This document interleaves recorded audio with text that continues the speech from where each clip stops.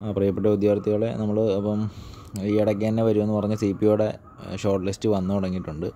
A P three ബറ്റാലിയന്റെയാണ് ആദ്യം വന്നിരിക്കുന്നത്.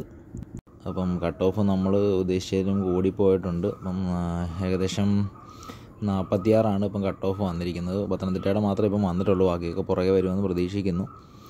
അപ്പം ഇതിനകത്ത് ടോട്ടൽ ആയിരത്തി മുന്നൂറ്റഞ്ച് പേരാണ് പിന്നെ മെയിൻ ലിസ്റ്റിൽ വന്നിരിക്കുന്നത്. സപ്ലിമെന്ററി ലിസ്റ്റിൽ എണ്ണൂറ്റി അങ്ങനെ ടോട്ടൽ രണ്ടായിരത്തി ഒരുന്നൂറ്റി പതിനഞ്ച് ആൾക്കാരാണ് മൊത്തത്തിൽ ലിസ്റ്റിൽ വന്നിരിക്കുന്നത്.